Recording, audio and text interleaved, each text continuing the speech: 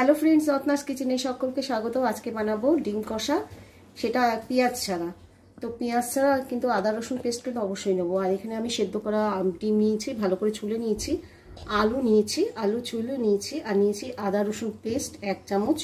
ফোড়ন দেওয়ার জন্য জিরে আর দারচিনি আর ছোটো এলাচ, আর নিয়েছি জিরে লঙ্কা গুঁড়ো, হলুদ গুঁড়ো, জিরে গুঁড়ো, নুন আর টমেটো। একটা কড়াইতে তেল দিয়ে দিয়েছি, আর দিয়ে দেবো সামান্য নুন প্রথমে ডিমগুলোকে ফ্রাই করে নেব, নুন দিয়ে দিয়েছি। আর ডিমগুলোকে ফ্রাই করার জন্য তার আগে কিন্তু এগুলো একটুখানি ধারগুলো একটুখানি ছুরি বা চামচ দিয়ে একটুখানি ফাটিয়ে নিতে হবে যাতে ফেটে গায়ে না আসে আর নুনগুলো যেন ঢুকে যায়। তো আমি করে নিচ্ছি সবগুলো। এবার ডিমগুলোকে ফ্রাই করে আমি একটা বাটির মধ্যে তুলে নেব। ডিম ফ্রাই করে নিয়েছি, না, নামিয়ে নিচ্ছি। আর কড়াইতে যা তেল আছে ওই তেলেই কিন্তু আমি রান্না করব। তার আগে দিয়ে দেবো জিরে আর এলাচ আর দারচিনি। সামান্য নুনও দিয়ে দেবো। আর হলুদও দিয়ে দেবো। নুনটা আন্দাজ মতনই দিয়ে দিলাম আর হলুদও দিয়ে দিলাম। এবার দিয়ে দিচ্ছি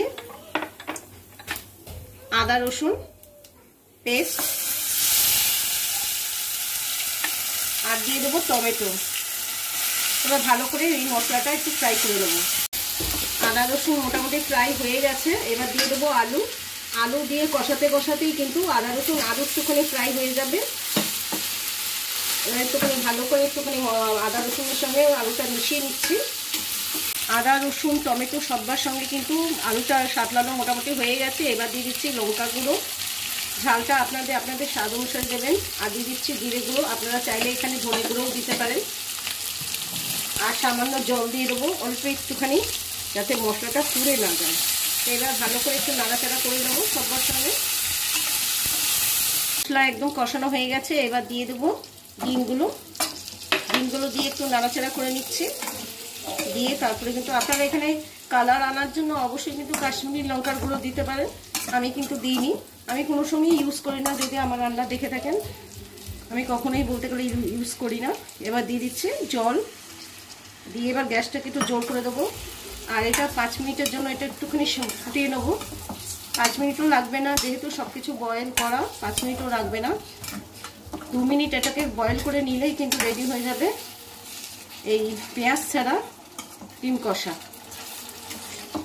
আর সবার শেষে দিয়ে দেবো এই কাঁচা লঙ্কা কুচি, যাতে টেস্টটা খুব ভালো হয়। আপনারা চাইলে এখানে ধনে পাতাও দিতে পারেন। আমি পরিবেশন করে দেখাচ্ছি, রান্নাটা অলমোস্ট ডান আমি পরিবেশন করে দেখাচ্ছি।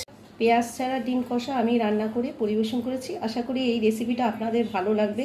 সব সময় সব জিনিস করে থাকে না, কিন্তু সেই জিনিস ছাড়াও কিন্তু যদি অন্য কিছু করা যায়, তাহলে অবশ্যই সেই আমার চ্যানেলকে সাবস্ক্রাইব করতে হবে বেল আইকনটা ক্লিক করতে হবে।